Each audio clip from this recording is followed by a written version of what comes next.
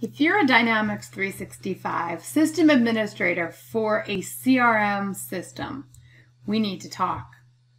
Right now, you're in a weird place, right? Some things have to be managed at make.powerapps.com. That's where you're supposed to do everything. But we've got this weird hybrid life right now, don't we? Some tasks can't be accomplished at make.powerapps.com in the Maker portal for some things, you need to click that switch to classic option. So I thought we'd take a little bit of time here to talk about three big areas which are going to require a hybrid system administrator experience. So the ones I want to talk about today are relationships, the user interface controls or the UI controls, and model-driven apps. And this is kind of a little bit of a teaser for a Dynamics Con session that I have coming up on September 21st. So while we're just going to talk really briefly about these three items, we're going to talk about a lot more content. And that's going to be on September 21st at 12 noon Eastern Standard Time at DynamicsCon. So sign up for that free conference and check it out. But if you can't make that, here's some information for you. So switch to Classic. Relationships, like I wrote here, as we all know, relationships can be complicated. And this is true for Dynamics 365. Now, I am happy to see some improvements in what you can do in a table relationship within Power Apps. It's really enhanced its capabilities in the last few months, which is awesome. But there are a few things that you'll need to use your classic solution designer. So I hope this chart is helpful. We can go through it quickly. If you need to add a new relationship, you can do that in the Maker portal or in Classic Solution Designer. You can change certain aspects of your relationship behavior in both interfaces.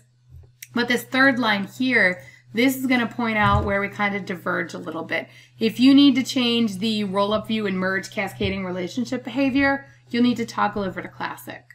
Also add mappings. Now this is one of my favorite things to do on a table relationship or on an entity relationship, and that's field level mapping.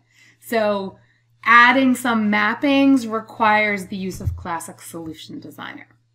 And finally, change your lookup field requirements. So if you want that relationship field to be a required field and it's not today, you'll have to toggle over to Classic Solution Designer. So that's three main things that you can do on relationships that require your Classic Solution Designer if you're a Dynamics 365 online customer. Now we can move into UI controls. UI controls is huge. There's so much to be said here, but we're gonna keep the scope here just in what needs switched to Classic. So like I said here, UI controls is an area that often leads me to click that switch to classic button. You can apply a UI control on a table or an entity, on a view, or on a specific field on a specific form. Now, anything that you're looking to apply at the table or entity level or the view level must be done in your Classic Solution Designer. And that's as of today, which is August 17th, 2021. Power Apps is changing regularly, so that will change in the future. I believe at some point you'll be able to do this in the Maker portal, but not yet. And field level controls are limited. There's only a few available in the Power Apps portal, so you can get them all in the Classic Solution Designer.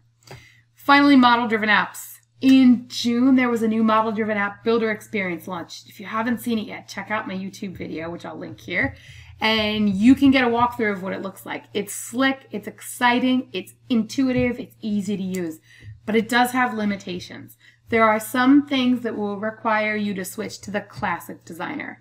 So those are adding more than one area to your app's navigation, specifying the app's URL, adding a custom icon, and charts, URLs, and business process flows aren't available from your list of components. Also, Today, when I log into make.powerapps.com and I want to edit an existing app, it opens in the classic design experience. So that might be while it's in preview mode.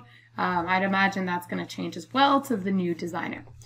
So again, if you want to learn more, check out my session at DynamicsCon. We're going to talk a lot more about where you should be doing your configuration changes in the Maker portal at Power Apps or in your Classic Solution Designer.